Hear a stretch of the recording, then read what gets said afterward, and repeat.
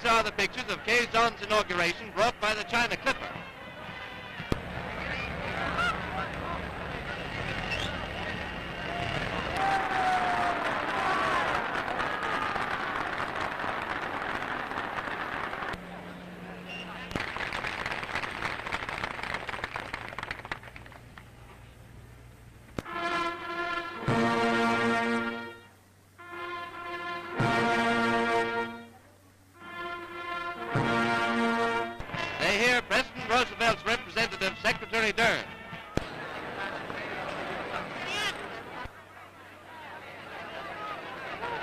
We are about to establish and put into operation the government of the Commonwealth of the Philippines as ordained by the Congress of the United States.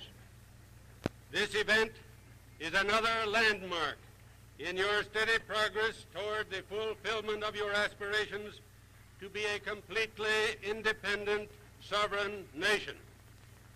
And Manuel Quezon, first President of the Philippines, takes the solemn oath of office.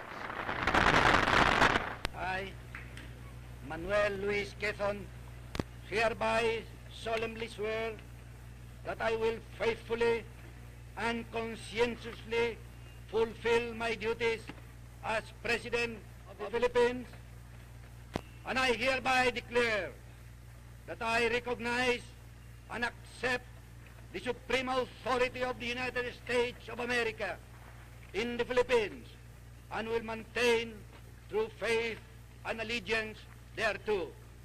So help me God.